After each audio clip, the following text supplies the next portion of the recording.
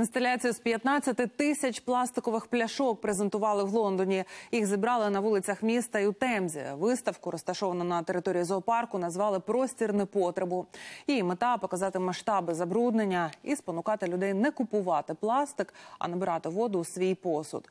Щороку мешканці Лондона використовують понад мільярд пластикових пляшок.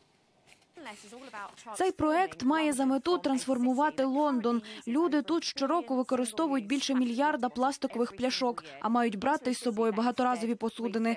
Ми хочемо, щоб відбулася культурна зміна, щоб одна людина не купувала по 175 пластикових пляшок на рік.